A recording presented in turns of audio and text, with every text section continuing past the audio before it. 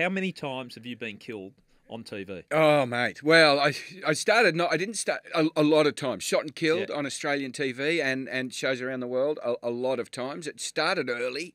I didn't start by getting shot, but I started by being a malevolent presence on a country practice.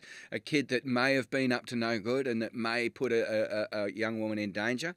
I then went a little later on on a country practice. They removed my testicles uh, and sent Oh, them to Burrigan for testing. I got thrown out of Summer Bay by Alf again for uh, sort of intimidating a young girl down on the beach. I got called a, a flaming mongrel by By, Alf, by Alf. which I take as. Uh, High, high point. Oh, mate, every, every Australian wants, Who wants to want do to be that. that? Yeah. Absolutely. So then I started graduating. Um, I got thrown out of East Street by the Reverend Bob. Um, again, for intimidate. I think I bashed an old man uh, on that occasion. And I thought Reverend Bob, being a Christian, should have been kinder to my character, but no, he got rid of me and the audience clapped. Uh, I think then I went on to McLeod's Daughters and got trampled by both women and horses, again for being a bit of an asshole towards women. Uh, on Water Rats, I just got shot dead. Uh, and What after, had you done wrong this time? pardon me? What had you done wrong this time? Oh, I tried to kill and shoot and maim everyone. I was chasing Colin Friels' character all about the place. I played a great character called Kiwi Dave. Anyway, they shot me dead, and when I died, no one mourned me. They stood over my body and said he needed shooting. I was invited on to All Saints, where I played a bank robber. Where I crashed myself in a car and then had to have open heart surgery, saved by Dr. Luke Forlano on the side of the road. They invited me back to All Saints, where they smashed my head open uh, because I was again some sort of violent side side person at a pub. They invited me onto Blue Heelers, where I blew myself up. Um, uh, look, the judge had made a bad call. I was upset with it, and so to make my point, I uh, strapped my body with explosives and and and and uh, held the court hostage. Uh, on Roar against the late great Heath Ledger, I was trying to kill him, but they got me first. I got shot through the heart with an arrow uh, on that one. So I'm no stranger. Gary. Uh, Well, it's- Here I am thinking a little bit naive. You, you've seen the world. Absolutely. When I played Kerry Packer on the second season, I died, but then came back to life. Uh, Packer Whacker? Yeah, that's right. With Yeah. the Packer Whackers, it was the only uh, that was the only resurrection story I faced. Uh, generally, I get shot and killed. Uh, oh, and, and these days, if Australia needs a racist.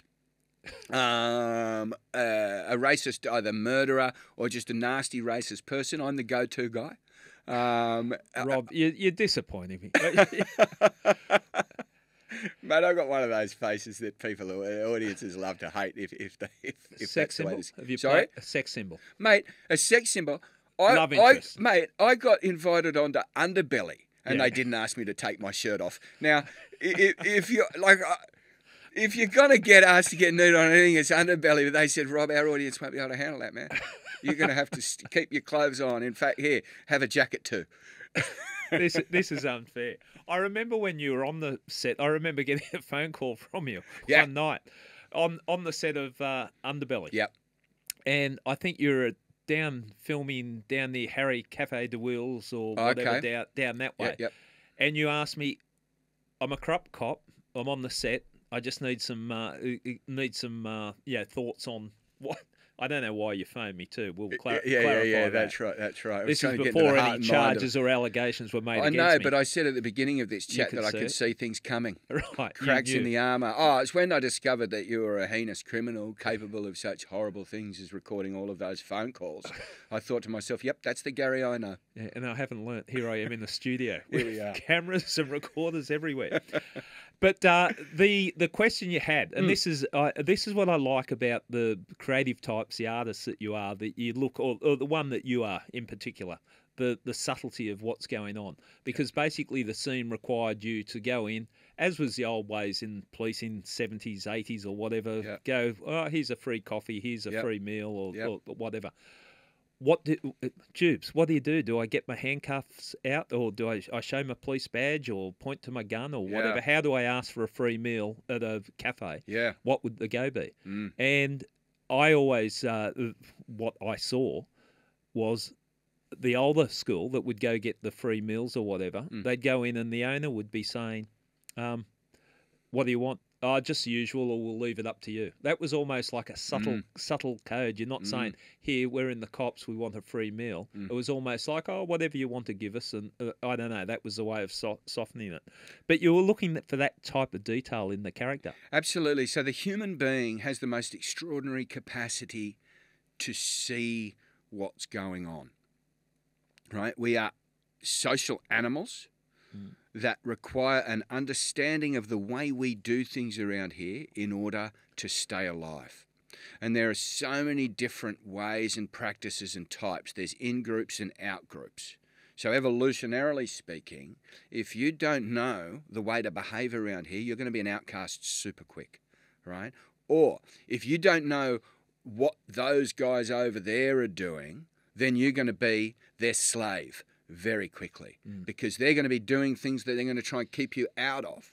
And so, unless you've got your eyes and ears open, there's so many things going on around you all the time that can trip you up, that can leave you behind. But if you're awake to it, then you can either avoid the danger or if you're that sort of person, you can profit off the situation. Now, my interest as an actor always is to get a sense of what's going on and how is it done in the most subtle of fashions. And this is the mm. beauty of making TV and film is that you can get a close up of a tiny little thing that most people wouldn't see in the daily world. But because you have the power of editing, you can get a close up of that subtle thing where the officer may just slightly shift the jacket back to reveal just the butt of the, just the Yeah. tiniest tip of the gun.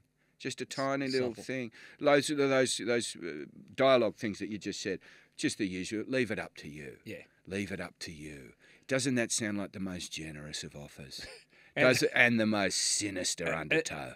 Yeah, when you put it that way and in that tone, it, it's sort of well, I can't. I said leave it up to them. Mate, Yeah, nothing sinister yeah, going on here. I just offered an opportunity for him to. But you you were you were playing a real live cop in that. It was yeah, uh, but that wasn't the uh, uh, first phone call I made to you about that character. No, Um, but and, and you were talking about, and this is what uh, you got. What the character was Mm. like. I, I didn't know him. I knew of him. I knew his type. The one Yeah. that gets caught up in. That's uh, right. Neville corruption. Scully Scullion was the Yeah, character. on and it's you, you I, I think our discussions were do you think he was leading it or do you think and I, I said I, I thought he was just weak. I, I thought it was a weak human being Mm. that was sort of following the, in the pack. And as you said human beings wanting to be belong. Yeah. and uh, he Well, was he was a great fun character to play, and again, he wasn't a lead character, um, but he was a really, really important part of that story because he was a man that could have been a great detective Mm. or a corrupt detective, depending on the cultural leadership inside that environment. Yeah. And to me, that represents the vast bulk of the human experience. We can all be good and we can all be bad, depending on the culture in which we find ourselves. There's not that many people that will swim against the tide. And so I really, really enjoyed playing Scullion because, look, in the end, we know from the historical record that he was a bit corrupt, Mm. but he wasn't a leader of it. He was just in those moments trying to serve the masters around him. So the reason I loved playing that was what are the sorts of things that a guy like that, he could be good, he could be kind, Yeah. he did have compassion, but he also let the public down. He took money. He did these things. And so I'm always really interested in those tiny little uh, interpersonal moments where that person could make the choice to go either way, but they don't. Mm. And that's, I think, what's really interesting for a viewer because then they're not sitting there. If, if the guy's clearly corrupt and a bit of an ass, then there's no jeopardy there. There's nothing interesting because you know what they're going to do in any given moment. Yeah. But if they could go either way, that's when it becomes compelling. And I believe we live our lives like that. We truly believe as we go along that we're making decisions. I could be this or I could be that. And that's why we tell our stories. Yeah, yeah. Uh, well, it was an interesting take, and, and to me, again, it showed that you do get, you understand that that's not a world that you're you operated in, No. but you understood the subtleties of it, and that. Well, I understand those- that coercive pressure, Yeah, that wanting to be liked by those around you. And I think that speaks to everybody, no matter what walk of uh, life you're from, whether you're from the criminal class, whether you're from the working class, the upper class, the intelligentsia, the literati, the creatives. There is a sense of, am I going to be liked by saying this or not liked? Yeah. Liked by doing, not liked. Am I going to get ahead Mm. by doing by serving myself, by being a bit sneaky? you know. And so there's all those things I, I love when it comes to playing these complex characters.